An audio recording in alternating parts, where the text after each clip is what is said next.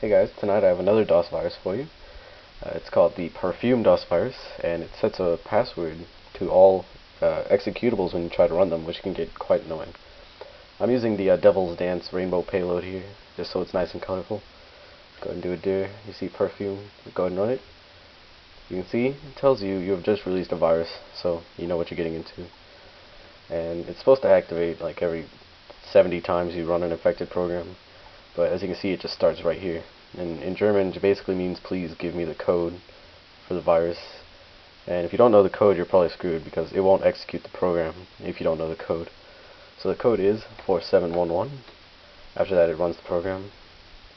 If we do a reset here if infectedcommand.com as it did it asks you to enter the code so it can run the command interpreter.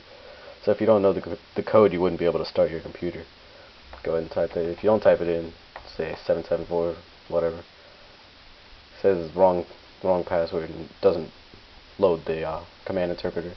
But DOS goes ahead and runs that anyway because it needs it. So that's about it for the Perfume DOS virus.